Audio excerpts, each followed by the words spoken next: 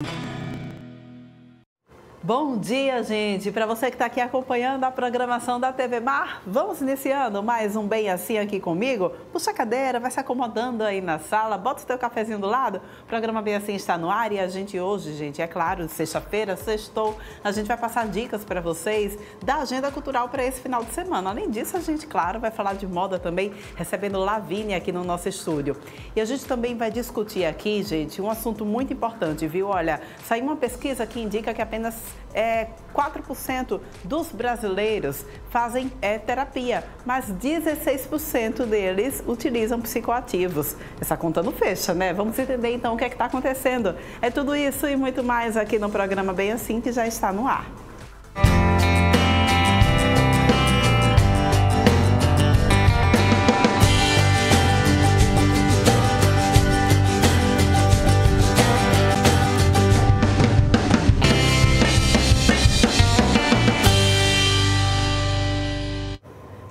Programa Bem Assim no Ar e a gente, claro, passando para vocês todas as formas que você consegue acompanhar a programação da TV Mar, viu? É só baixar o aplicativo da TV Mar no teu celular e você vai ter toda a nossa programação aqui na palma da tua mão. A gente também passa ao vivo lá no portal Gazeta Web. Acessa gazetaweb.com e você vai se mantendo informado no maior e melhor portal aqui do nosso estado e acompanhando toda a programação da TV Mar ao vivo lá no cantinho da tela também.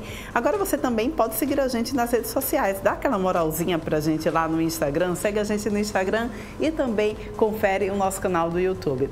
Vamos deixar de papo, gente, porque hoje é sexta-feira e a gente vai falar de moda. A gente abre o nosso programa aqui falando de moda, conversando com Lavine, já está com a gente. Bom Olá, dia, linda, bom tudo dia, bom? Tudo bom? Gente, essa semana você vem trazendo todos os detalhes de Nova York, né? De Nova York bombou, né? E a gente fica só acompanhando daqui para ficar sempre de olho nas tendências.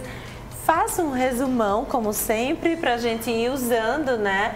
Verão tá aí, a gente tem que ver o que é que vai usar, o que é que tá de tendência, o que é que acomoda bem também com o nosso estilo, né? Super importante. E tô aqui, daqui a pouco a gente vai ver o resumão de tudo pois que rolou é, por lá. Muito bom, gente. Olha, sempre muita cor, Lavínia? O que é que você já, já quando você vem assim, eu já digo, olha, a aposta já, já tá cor, tá nela. Né? A aposta já tá nela. Então, muita cor, mas tem uma cor específica que bombou assim, que é a aposta da tendência 2024 Muitas, eu achei que dessa vez eles não apostaram tanto em cores, acabaram apostando muito em modelagens, hum. em alguns detalhes recortes, aí. Recortes, tem recortes, muito. Recortes e alguns detalhes na modelagem da produção, para a gente ficar de olho e ver o que é que também dá para usar, né, é, Polani? É, Porque a gente sabe que nesses Fashion Weeks tem muita coisa também que fica complicada para a gente usar no nosso dia a dia e a gente vai adaptando lá aqui, né, com o nosso estilo mesmo. E é para isso que esse quadro existe, viu, gente? Para não pois deixar é. a gente às cegas e ajudar a gente a adaptar a alta costura à nossa realidade. Exatamente Vamos isso. já aí colocar na telinha, gente, aqui olha a abertura aqui do que, que a gente encontrou lá. Exatamente. Então a gente vê aqui um resumão, né, de tudo que eu vou mostrar para vocês. Já tem aqui um spoiler da cor que está em alta. E vem todo um resumão. É, Nova York Fashion Week sempre é muito interessante, né? Não teve tantas polêmicas como geralmente um Fashion Week traz, mas ah, já imprimindo aí várias tendências que eu acho a cara do nosso verão, acho muito bom quando a gente consegue, né, casar mesmo o que vem lá de, né, dos Estados Unidos e da Europa com o Brasil, porque a gente sabe que tem essa diferença climática, essa diferença de estação mesmo. Então, às vezes, a gente vê, por exemplo, um Fashion Week só de inverno, com aqueles casacos pesados, e fica complicado é. para a gente seguir tendências. Mas o Nova York Fashion Week veio cheio de tendências, a nossa cara, e aí vamos para a primeira tendência já, para também vocês não sentirem tanto spoiler aqui do que eu vou falar. Próxima imagem. Opa! Então, vamos começar com os babados que foram desfilados em várias é, marcas. A gente vê o Philip Lim, Palomo Spain, Ula Johnson e Aria aqui. Então, babado em suas diversas formas, né? A gente vê aqui essa composição que eu gosto muito na transparência com o detalhe do babado no ombro, que a gente geralmente não vê tanto, né? Uhum. O babado a gente acaba vendo muito na, na parte de baixo, assim, da produção, na saia, no vestido. E eu achei super interessante isso aqui. A saia irregular com babado também na transversal, gostei demais. Eu acho que fica lindo, né? E com volume mesmo, o movimento quando a gente caminha, né? Eu acho que dá um charme super especial. E aqui também no vestido, nas laterais. Composição essa, viu? Super composição. Lindo. E você vê que é um detalhe que faz muita diferença, Muito. né? Ele traz mesmo um toque feminino. O babado sempre traz um romantismo mesmo, né? A peça. Eu gosto muito dessa tendência, dessa proposta também. E eu acho que faz um diferencial na produção. E aqui também super diferente, né? Não é, acaba que não é nem babado, mas é, acaba que é uma coisa diferente que foi colocada aqui na peça também.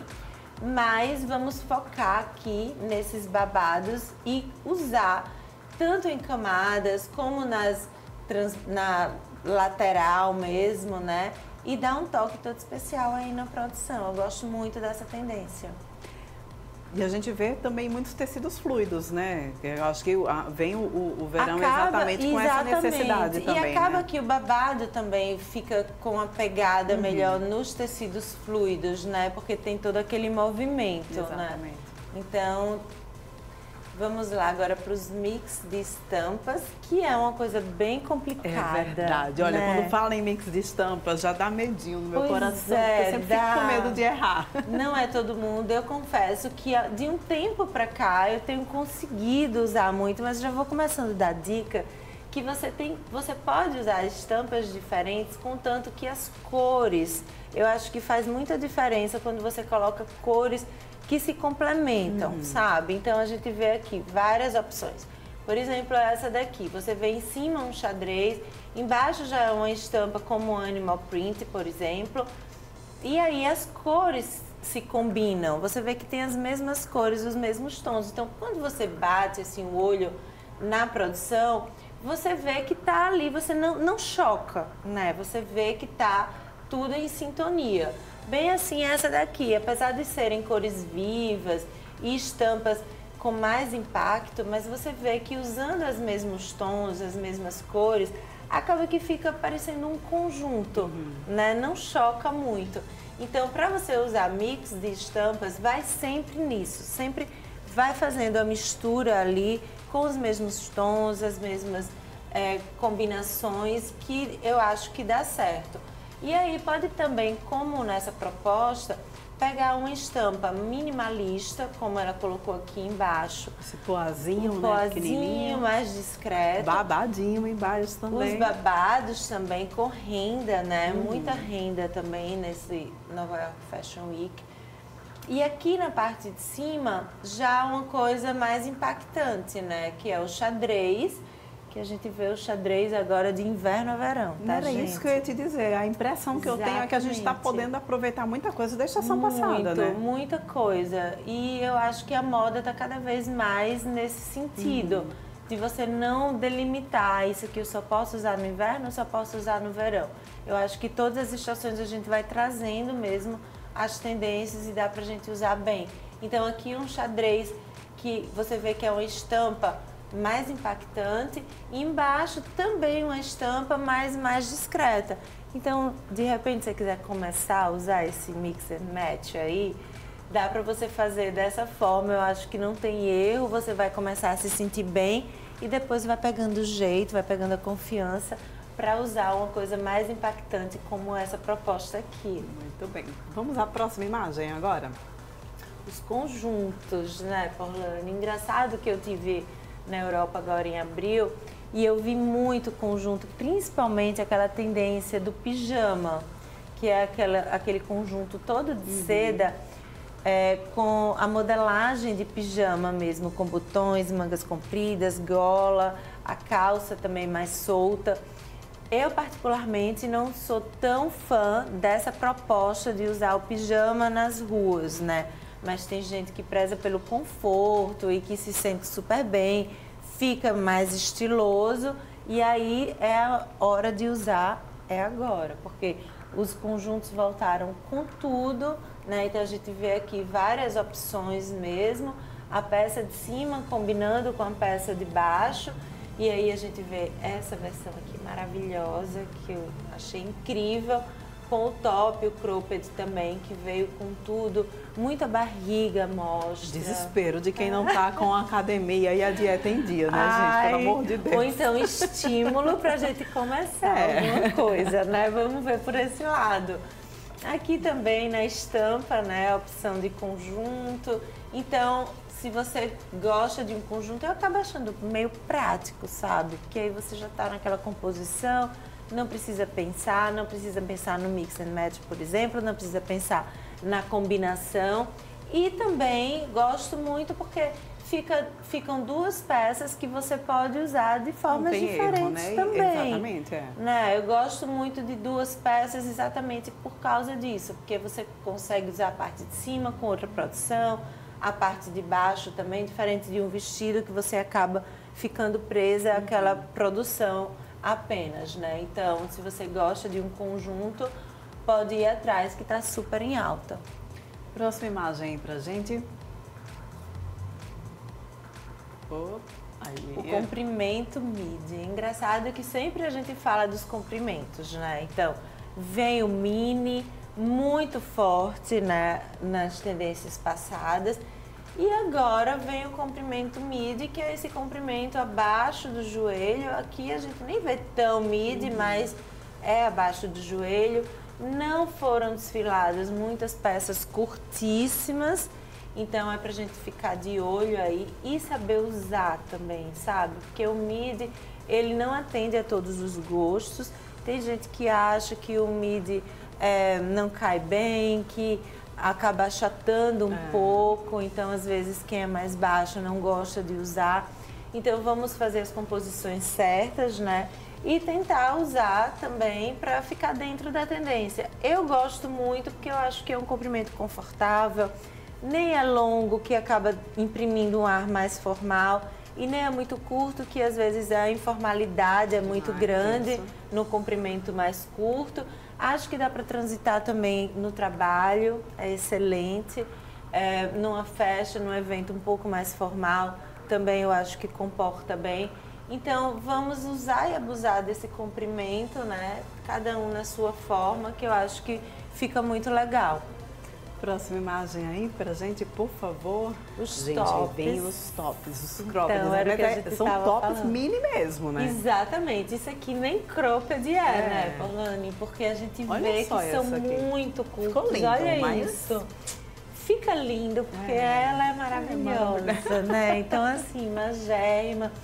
E eu acho que é uma tendência que a gente pode colocar no nosso dia a dia, mas eu acho que pode usar também de outras formas que, que acaba trazendo um certo conforto. Por exemplo, você pode colocar um top desse e jogar uma camisa por cima, mais aberta, dá um nozinho e coloca o top à mostra. Eu sempre dou esses truques, uhum. sabe?